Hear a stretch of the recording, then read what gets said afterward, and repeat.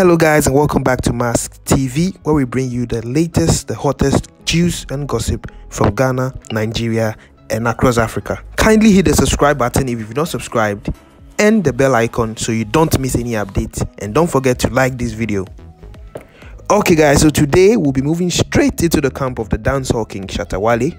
Now, if you've been following news from yesterday, you'd have heard that Billboard brought out a list of the most influential musicians from the African continent within the past 12 months.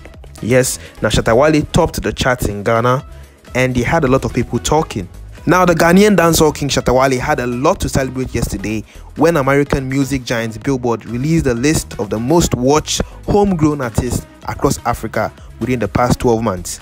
Now, the statistics by Billboard Africa covered countries like Angola, Egypt, Ivory Coast, Algeria, Ghana, Mozambique, Senegal, South Africa, and Tanzania. Billboard's list was based on YouTube views accumulated by the various top musicians on their channels. Now, according to Billboard, Shatta Wale dominated here in Ghana with a total view count of 13.62 million, followed by Ghanaian rapper Sarkodie, who came in at second place with 11.72 million, and in the third place was Stonebwoy, followed by Diana Hamilton, and then Kofi Kinaata. Now, according to my team, I'm about to reveal to you two reasons why I think Billboard lied. Now, before I do that, kindly hit the subscribe button and the like button. Let's go into it. Now, the first reason why I think Billboard lied was that on their report, they lied about Shatta Wale's age and profession. Now, according to Billboard, Shatta Wale, who has been in the Ghanaian music industry, is 20 years of age. Now, from what we know and from what most Ghanaians know, Shatta Wale has been in this industry for over 15 years. So how come they are reporting that Shatta Wale is just 20 years of age? It was very hilarious to a lot of people and it got a lot of people talking on social media. Also, Billboard revealed that Shatta Wale was an actor, which is also false. Shatta Wale is not an actor. He has featured in some short skits and videos, but Shatta Wale is not an actor.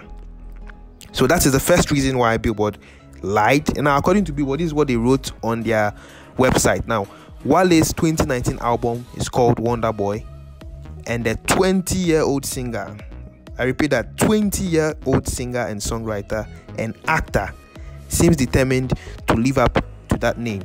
Now, the country's biggest political parties have used his songs in their campaigns, and in 2018, his album Reign hit number 5 on Billboard's World Top Album chart and he organized a faith concert in April to cheer fellow Ghanaians during the 20, the 19 COVID-19 pandemic. Now Shatta Wale has obviously been doing good. He's a very influential artist here, but according to my team and I, with regards to the report that Billboards brought out, they lied. Now moving on to the second point, I'm about to break down why I think Shatta Wale is not the most influential YouTube musician in Ghana. Now, this is my reason. We all know Shatta Wale. He has very good songs on YouTube and he accumulates a lot of views, right? But when it comes to strictly posting just musical content or audio slides, Shatta Wale doesn't do that. Unlike the other musicians on the list like Stonebwoy, Sarkodie, Kofi Kinaata and Diana Hamilton, Shatta Wale post other stuff which are not necessarily music related. Now, let me explain. We all know Shatta Wale usually goes on Facebook Live to discuss about what is going on in the whole entertainment industry as a whole. He even, as far back as I can remember, talks about some politicians, some radio presenters, actors, and so much more. Now, what Shatta Wale does is that after going on Facebook Live to talk about all these things, he comes and posts them on his YouTube channel. Now that adds to his views. Now, unlike Shatta Wale, the others do not do that. Sarkodie and Stonebwoy and the rest just post musical content, either a music video, a music interview, international music interview, or an audio slide. So that is our investigation as far as YouTube views is concerned. Now, leave your comments in the comment section. Tell us what you think about this whole thing. Is Shatta Wale actually the most influential on YouTube because Billboard says so, or you think Sarkodie and the others are more influential? Don't forget to hit the subscribe button and the like button as well. See you in the next video.